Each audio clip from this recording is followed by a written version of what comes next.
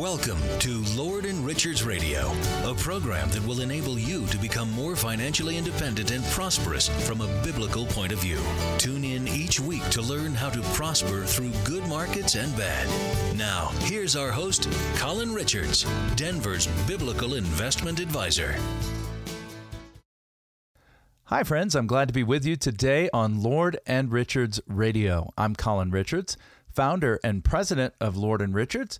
We're a team of advisors who are dedicated to helping people just like you retire financially independent. And we're doing that every single day. On this show, we're discussing investing and planning from the perspective of key biblical principles, a little bit different way of looking at money.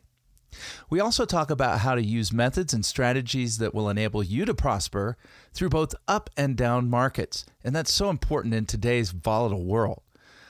I'd love to chat with you. My team and I would love to help you, talk to you about your specific questions regarding retirement and saving and investing from a biblical point of view. Just pick up the phone and give us a call at 720 592 1040. Again, that's 720 592 1040. I'd love to chat with you about how you can achieve financial independence from a biblical viewpoint. Or check us out online at lordandrichards.com. Hey folks, Colin Richards here. I'm president and founder of Lord and Richards, and I'm excited to be with you today on this episode of the Lord and Richards Show. And in this particular episode, we're going to be talking about the Bible's teaching concerning giving from Second Corinthians 8. As you know, here on the Lord and Richard Show, we're talking to you about the problems that retirees and pre retirees face. And you know, the conversations I'm having every single day are telling me, you know what, we need to be prepared financially for our future. But a big part of that is the blessing of God on your life. Uh, we, we really believe at Lord and Richards that the blessing of the Lord makes rich and he adds no sorrow with it, that there is a kind of wealth that comes from God when we are generous back towards him. And so in 2 Corinthians 8, Paul is going to commend an especially giving group of churches, a wonderful group of people. Listen to what he says to the Corinthian Christians about the Macedonian Christians. We want you to know, brothers, about the grace of God that has been given among the churches of Macedonia. For in a severe test of affliction, their abundance of joy and their extreme poverty have overflowed in a wealth of generosity on their part. For they gave according to their means, as I can testify, and beyond their means, of their own accord, begging us earnestly for the favor of taking part in the relief of the saints. And this, not as we expected, but they gave themselves first to the Lord, and then by the will of God to us. Wow, what a group of people. The, the occasion is the relief of the saints in Jerusalem. Not only were the saints in Jerusalem being persecuted, but it well may have been related also to a famine that they were experiencing in Judea. And so the church was facing a great test in Jerusalem. And Paul, knowing that he had had opportunity to plant and to build and to be a part of the growth of many of the Gentile churches or the churches in other parts of the Roman Empire, decided this would be a great opportunity for those churches to give towards this need. And besides that, Paul also wanted to see the Jewish uh, community in Jerusalem bind, bound together with their Gentile counterparts, other believers elsewhere. So, of the people that, that Paul ministered to across the Roman Empire, he identifies this as a group that was in a severe test of affliction. These were some of the poorest Christians in the Roman Empire. They themselves could probably have used love gifts from other believers around the world. And yet Paul tells us that they were the ones wanting to give. He he didn't even have to ask. And he said, you know, they they were the ones who jumped in and begged us for the favor. Their attitude was the grace of God. Notice it says the grace of God given to these churches. You know, when you have an attitude of gratitude that comes from God, it spills over in giving to others. This particular passage has to do with giving to others, but we're really told that they gave themselves to the Lord. So it wasn't just that their their money or their possessions were being used to relieve saints, but this was considered by God as a gift to himself. Jesus said if we offer just a cup of cold water in his name, it's like we gave it to him. And so Paul gives this wonderful uh, account of the generosity and the grace of this group. He describes them as being abundantly joyful in it. Think about it. If you're in need yourself, is it an exciting prospect to give away what you have when you yourself are in need? That's how they took it. They begged for the favor. In other words, the grace. They wanted this, they considered this to be something they could do for God, the favor or grace of God. And they begged to do it. And they began, they started with what they could give according to their means, but they just caught fire. And it says they went beyond their means. They gave themselves, and that resulted in God being able to lead them along in the area of giving. Now, let me ask you a couple questions. First of all, if you're among the poor, if you're among those who aren't rich, let's say, should you be giving? You know, a lot of times people feel that, well, until I'm really financially in a better place, I don't think God would expect me to give. I, I think He does because there's always those who are struggling more than you. And being generous with what you have, no matter where you are in life. And your generosity may look entirely different from somebody else's. Someone has wisely said, it's not so much what you give that counts in the eyes of God, it's what's left after you give. Consider the the story of the widow who cast in her mite.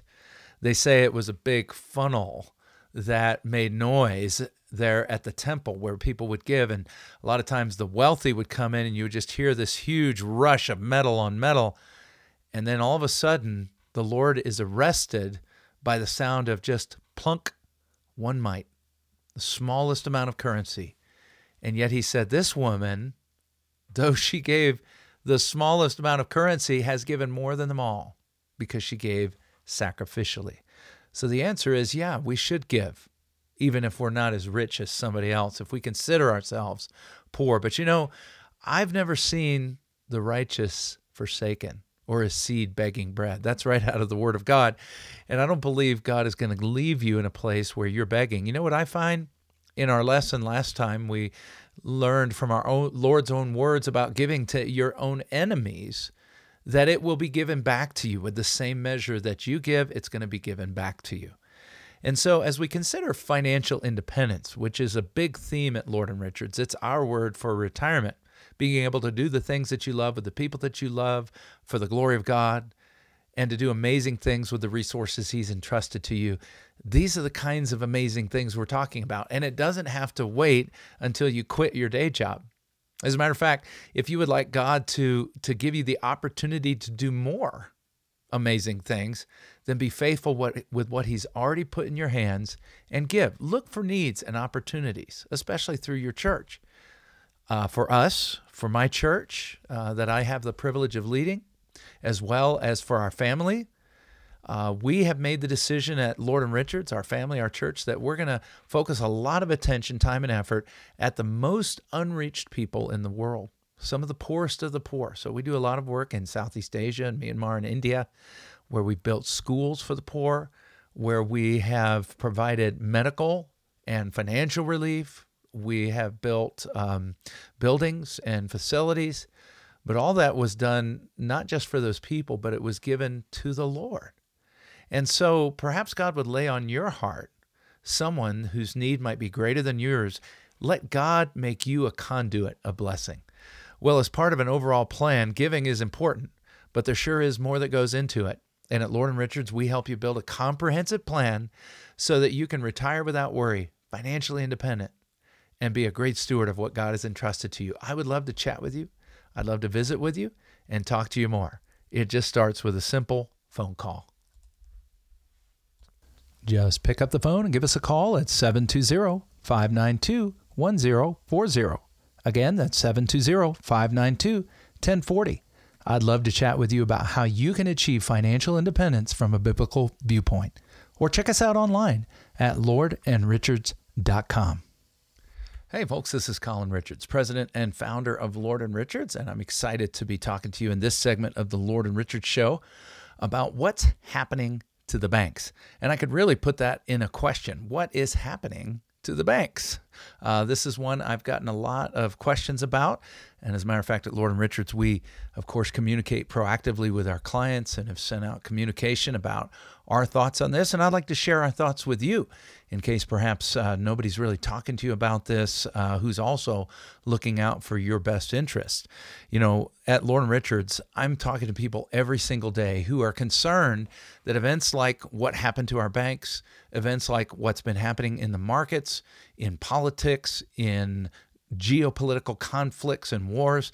They're concerned that these kinds of events are going to mess up their retirement. And I know probably many of you are as well. And so, what I want to do is help you understand the critical importance of building a plan in advance. Okay, now you say, well, we're in the middle of, of various crises. Is it too late? No, it's never too late. But how much more important now seeing the dangers that are out there to build a plan so you can be financially independent, creating a kind of economic bubble around you and your retirement so you can do amazing things with the resources God has put at your disposal. And so today we're talking about the recent failure of two banks, two banks that were seized by regulators. Uh, last week we had Silicon Valley Bank, the nation's 16th largest bank, seized. It was declared insolvent after it couldn't satisfy withdrawals by depositors on last Thursday and Friday. And of course, this was a result of a number of things. Um, we also saw Signature Bank then follow because of its exposure to um, some of the uh, issues that were related to Silicon Valley Bank. Silicon Valley Bank lent to a lot of startups, venture capitalists, tech companies. And these tech companies, startups, venture capitalists relied upon um, the ability to finance their operations. And guess what the government's been doing to the ability of businesses to finance? Well, in order to slow down our rate of inflation, which, by the way, is only a bad thing, uh, pardon me, uh, this their solution of raising interest rates is only a bad thing if you're borrowing money, right? So the government started raising interest rates to slow down the rate of inflation thus negatively affecting borrowers. Now, people like the clients at Lord Richards, we're benefiting from the rise of interest rates. We're teaching our clients how to use high interest rates right now to really benefit and to lock in some really great long term benefits in their portfolio. But for these borrowers, they had to turn to what they had, which was the cash in the bank, in order to keep operations going as the government uh, started to tighten the ability of businesses to expand through lending. And so that meant banks like Silicon Valley got really shortchanged, right? As people pulled out their money to take care of their bills and their payroll. The bank then had to turn around in order to satisfy those deposits and sell many of its low yielding treasuries. And those treasuries have dropped in value, right? Because if you've got some old, ratty old low interest um, treasury and now the government's paying more interest, you've got to pay you've got to offer a, a premium to potential buyers so that they'll take that off your hands, right? So often losing as much as 25% or more on those investments just to satisfy the needs of these companies who had to pull their money out. They also tried to raise cash by selling stock, and that backfired. Watching their stock value drop because, of course, people are saying, What is going on? So they had to do the selling, and therefore other depositors then began to lose confidence and withdrew their funds, causing the bank to fail. It's literally a scene out of It's a Wonderful Life with Jimmy Stewart. Now, bear in mind that the FDIC insures deposits up to 250,000, but many of these customers were businesses that had much more than that. Now, the government has come in and said, we're going to waive that and we're going to make sure everybody gets their money. And the government's done that in order to instill confidence because what the government is trying to do is stop a run on otherwise healthy banks because depositors get emotional. And this just happens, right? And if you're out there fanning the flames of emotion, you're literally doing your neighbor a disservice, right? Because the bank that they're in may may suffer because you're inflating or politicizing what is going on. This really just has to do with simple economics. Simple economics. You can blame the government, you can blame Biden, you can blame anybody, but when the government raises rates to cool inflation, this kind of stuff happens. You say, well, they shouldn't raise rates. Well, then take a look at what happens to your household budget when your wages don't keep up with your cost of living because inflation is growing at a faster rate than your budget okay, or than your income. So, as a result of the exposure that Signature Bank had in New York, uh, regulators also seized them and they plan to make them whole as well. So, we're all good, right? All good. Well, the question really is okay, this exposes the vulnerability, the vulnerability of our deposits at banks. And yes, we should work within the FDIC insurance limits when possible, and there are creative ways to do that. But in our next segment, we're going to talk about alternatives to banks, alternatives to banks for investments because many people are just parking money in the bank because they don't know what to do with it. And we've got a lot better idea about how to do that and how to approach that safely, right? Because we put our money in the banks to get safe. Generally, we're not looking for great growth. Do we have a larger banking crisis on hand? We don't know. We don't think so, but we're going to stay tuned on that. Uh, but markets don't like negative headlines, so people are also seeing a lot of instability in the in the uh, stock market right? As people are concerned, bank stocks, whether they're involved or not, are getting cratered by investors. And so we need to keep an eye on that, right? And that that again heightens the need to say, well, what what else can I do besides put my money in the bank to protect me from all of this volatility going on in the markets and our financial system? Well, what we can do is we can look to other safe places to put our money that have traditionally provided investors opportunity for growth but safety at the same time.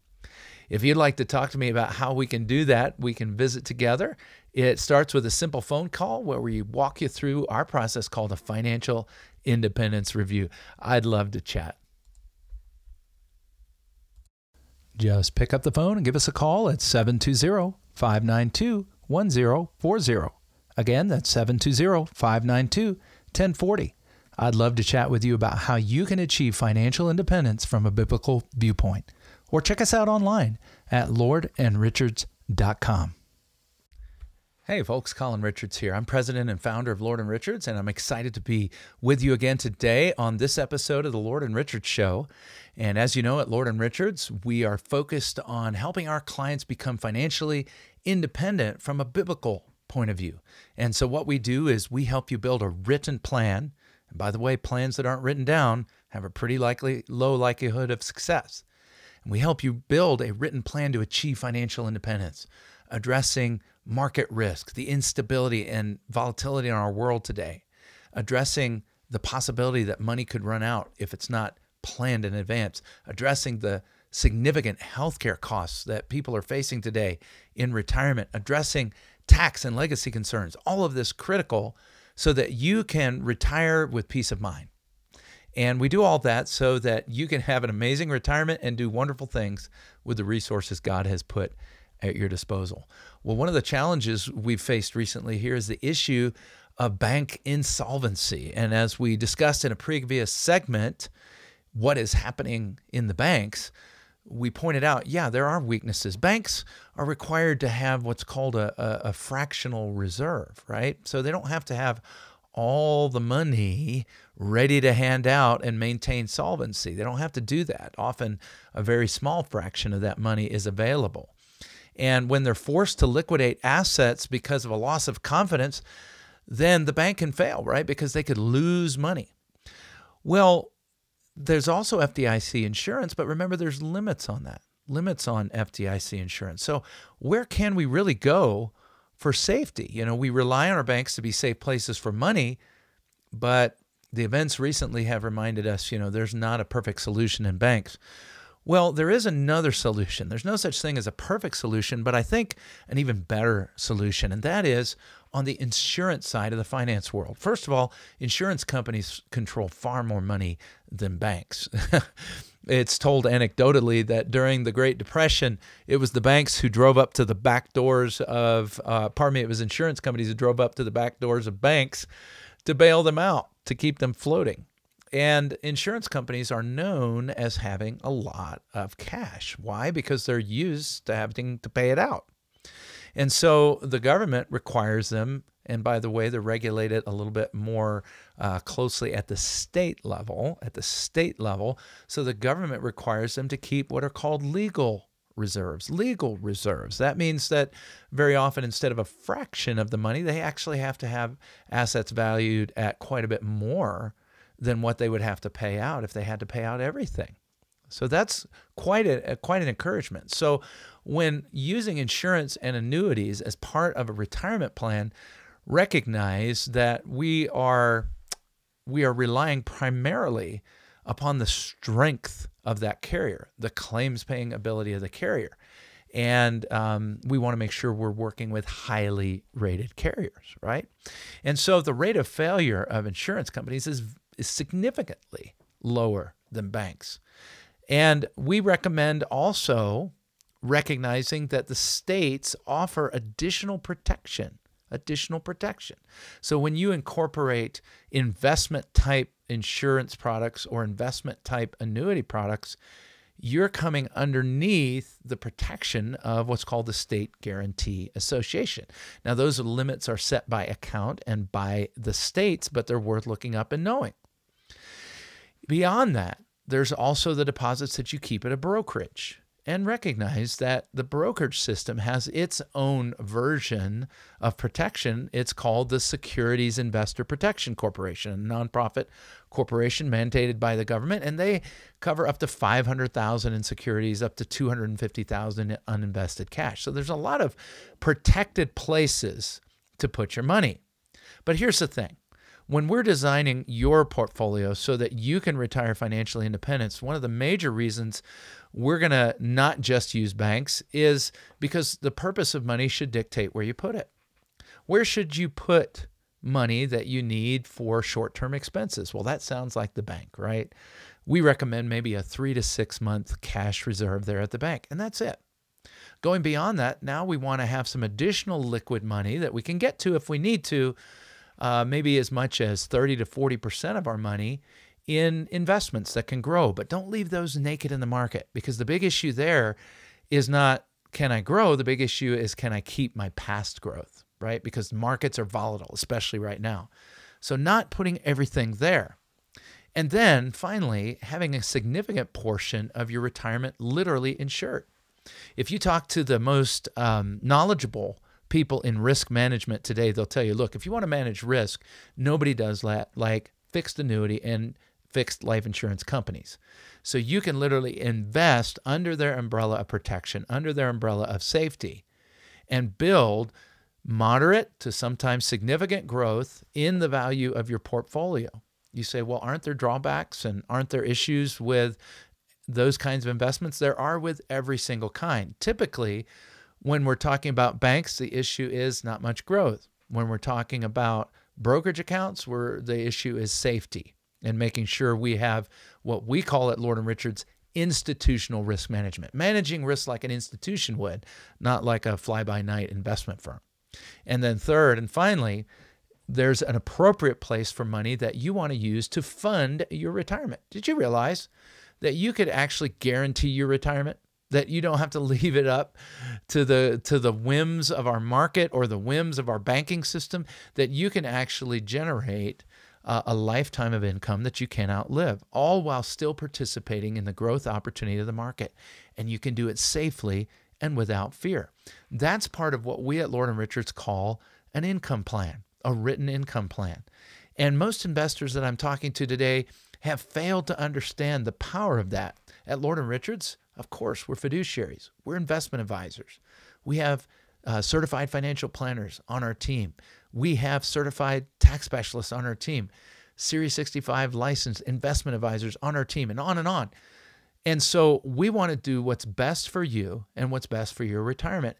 And that includes opening our eyes to the full breadth, the banking industry, the brokerage industry, and the assurance and annuity industry the full breadth of opportunities to make sure not only does your portfolio have the opportunity to grow, not only is it safe and within reasonable boundaries, but also that you have income that is reliable, consistent, and allows you to never have to go back to work again.